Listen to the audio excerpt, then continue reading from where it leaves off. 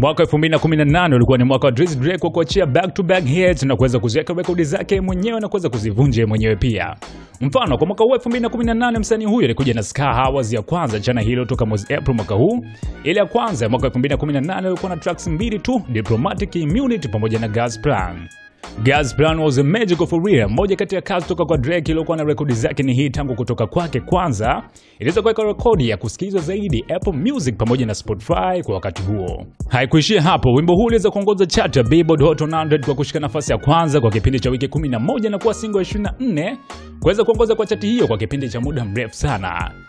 Video ya kazi hii mpaka leo ina views bilioni 1.3 na kitu ambacho unapaswa kukifahamu toka kwenye video wimbo huu ni kuwa ilikuwa ni real kabisa, yani jamaa aliamua kuliko kutumia magari ya kifahari, majumba na vitu vingine vya thamani, lakini akaamua kuwekeza budget ya kiasi cha dola laki tisa na elfu tisini na sita kuweza kuyabadilisha maisha ya watu, na akaamua pesa hiyo yote aweze kutoa misaada kwa watu, na ndicho alichoamua kukifanya kwenye Gas Plan video.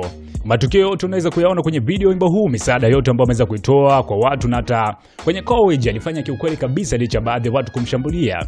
Ni kwa nini unatoa misaada kwa watu afu unawashoot na kuweza kuwaexpose kwa watu wengine globally?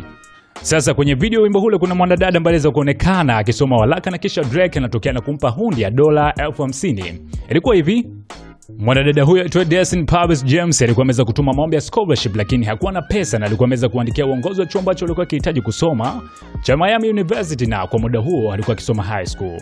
Siku ambayo Drizzy Drake aliweza kutokea kwenye shule hiyo, aliambiwa na uongozi wa shule yake kuwa pale ambapo watu wameweza kukusanyika aende kisha focus kuangalia kamera na kusoma barua ambayo aliandika juu ya scholarship yake na matatizo yake ya kifedha aliyokuwa nayo kwa ajili ya kuisambaza clip hiyo mitandaoni kwa ajili ya kurise fans kuweza kukamilisha ndoto zake za kimasomo. Na hapo Drizzy Drake akameweza kumsurprise kwa kumpatia dola elfu hamsini kwa ajili ya kupush masomo yake.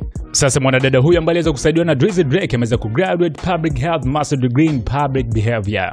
Baada ya kugraduate mwanadada huyu aliweza kushia furaha yake kupitia kwenye ukurasa wake wa Instagram kwa kuandika mama, nimepata masters, baba, nimefanikisha. Kisha Drake akaja kushusha comment kwa kumpongeza kwa hatua hiyo kubwa, na pia mwanadada huyu akaweza kumshukuru sana Drake.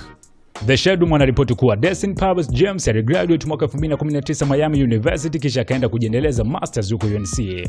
Mwanadada huyo alisema kuwa wakati anasoma high school baba yake mzazi aliweza kufariki kwa kansa mwaka 2016 na yeye ndoto yake kubwa ilikuwa kufikia level za juu katika masomo yake na hatimaye ameweza kufanikisha hili. Hii hapa ni SNS, mimi ni Jan Man.